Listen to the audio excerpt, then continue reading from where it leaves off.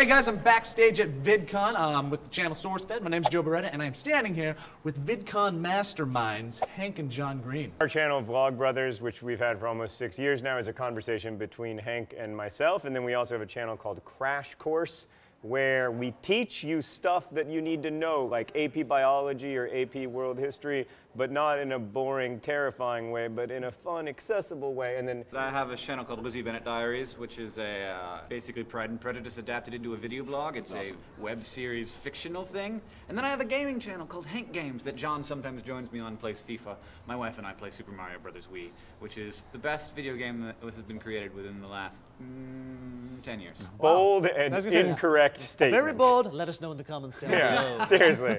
How is VidCon going? It's pretty crazy crazy. It's crazy to have grown from, you know, like 2,500 people to 7,200 people this year. The, the, great thing is that even as the conference has grown, it still feels uh, intimate. Everybody's still mm-hmm. friends. And because we're in a lot more space, it doesn't feel too crowded. So we're having a good time. What does it feel like being on stage with all of those seats pretty much full. It's really, really, really scary.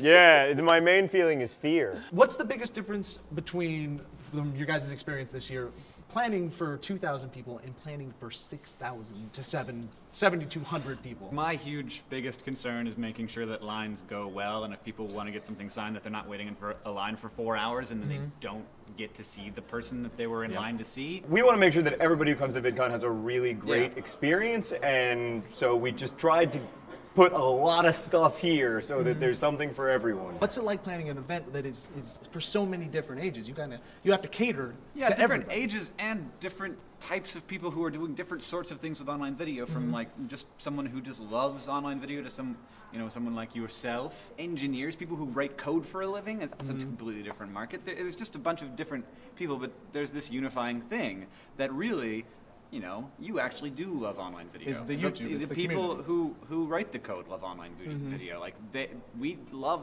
this stuff. Mostly, it's just having this like a bunch of people together who agree on one thing, which is that online video is great. Hey, that is it with uh, John and Hank Green. I'm Joe Bereta for SourceFed, VidCon behind the scenes. I said bye, everybody. Bye. Bye. bye. Joe. Hugs.